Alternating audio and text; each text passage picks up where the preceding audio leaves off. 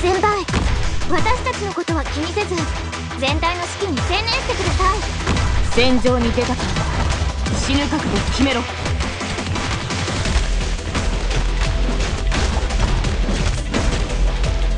チェーンソーのうなり声が聞こえる？い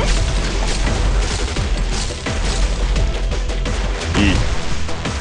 私の武器は誰にでも扱えるわけではない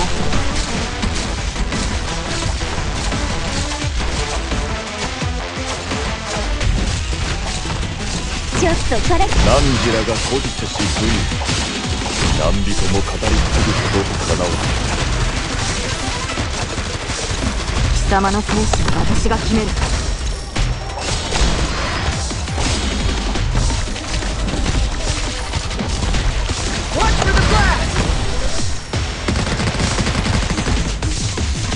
ビオポーレント。悪くない場所だ。皆さん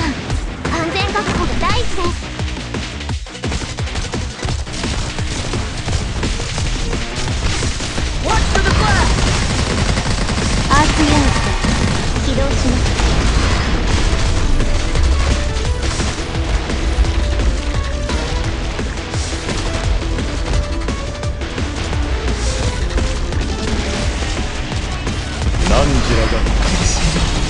忘れたことはありません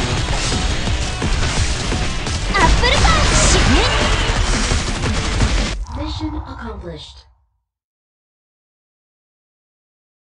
当たり前だ